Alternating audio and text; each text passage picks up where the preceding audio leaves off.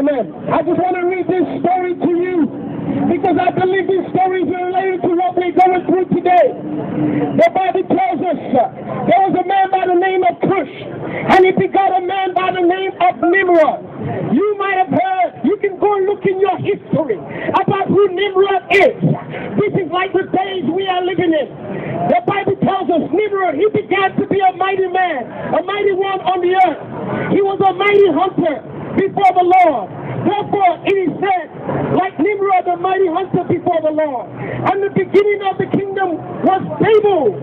Babel, Babel was the kingdom that Noah established. The Bible uses the word, he was a mighty hunter. I don't know. Perhaps, uh, maybe at one point uh, he knew God. Uh, perhaps, maybe at one point uh, he walked with God. Uh, but I, you know, that will surprise me because the father, one of his grandfather, his grandfather, is Noah. He would have heard the story about how God saved them uh, from the flood. Uh, God asked them to go into the ark uh, and he rescued his family. N- uh, Nimrod would have known about it uh, and God took time to say he was a mighty hunter.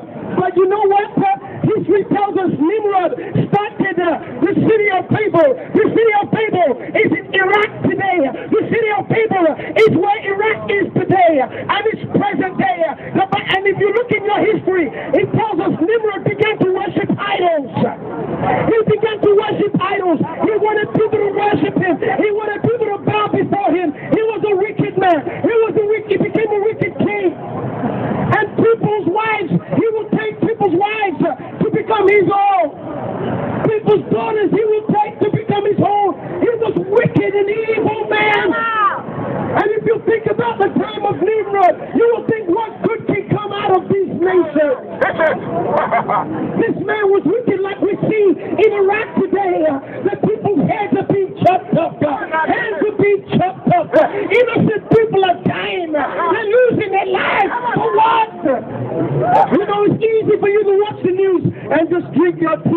tea and feel, oh, it's not me, it's not me, it's not me. How would you feel if you were in Iraq today and you were so afraid you can't go out? I'm afraid that your head's going to be chopped up in a minute. That's how Nimrod was. He was the evil king. How are people going to be delivered? How are the people going to be set free? But you know what happened? Oh, hallelujah. The Bible says in chapter 11 now the whole earth had one language. They had one speech. And it came to pass as they journeyed from the east that they found a plain in the land of Shinar. Shinar. And they, they dwelt there and they said to one another, Come, let us make bricks. Let us take them thoroughly. That, that, that brick was stone and they had asphalt for mortar and they said, Come, let us build ourselves a city. A tower whose up to the heavens. You see, Nimrod's kingdom, they wanted to build a tower to heaven. They wanted to get to heaven without God. It's just like many people today. They want to go to heaven without Jesus. They want to go to heaven without God. They are building, they, they have it like, you know, spaceships. People want to go in space. Oh, let's go and see what is in space. The earth is being destroyed. Let's go find a new home. They're firing rockets into space. Without Jesus, you enter heaven. Without Jesus, you cannot get into heaven. The Bible tells us in his day. Look at what it says. And it says, But the Lord came down to see the city and the tower which the sons of men built. And the Lord said, Indeed, the people are one, and they all have one language. And this is what they will begin to do now. Nothing that they, they propose to do will be withheld from them. Come, let us go down and let us confuse their language, that they may not understand one another. That's right. You see, unity is good, but evil unity is bad.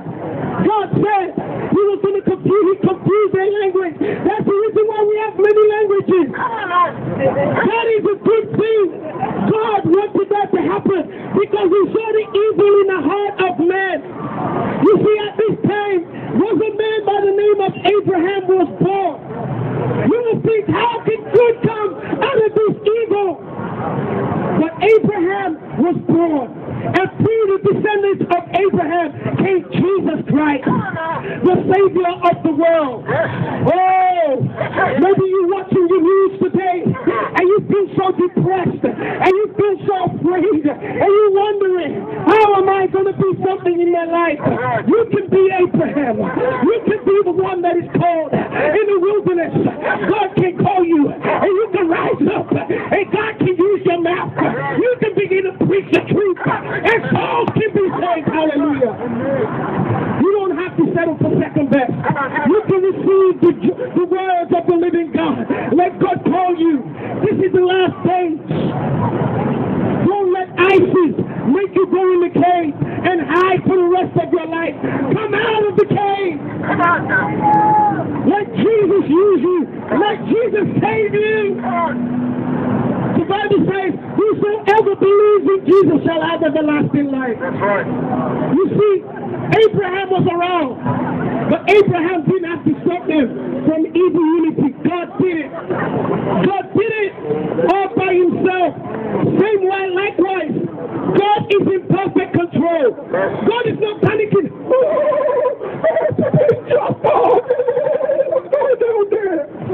He is in perfect control. He is God Almighty. He made the heavens and the earth. Nothing can make him afraid. He's God Almighty. If your head is cut off, he can put it back.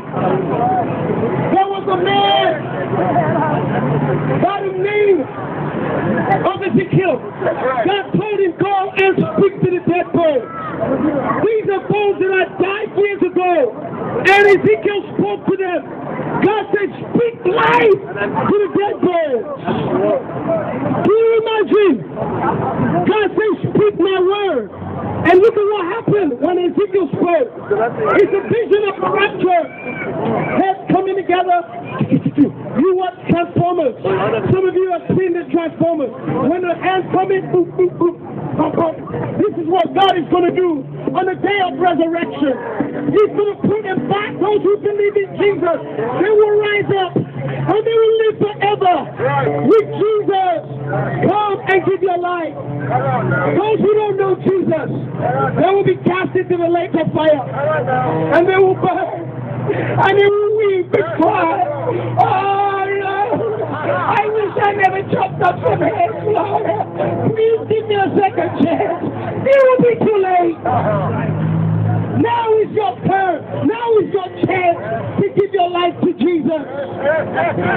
Give your life now before it's too late.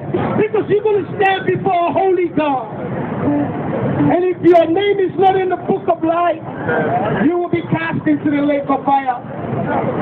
No matter how evil this world is, Jesus loves you. Jesus cares for you.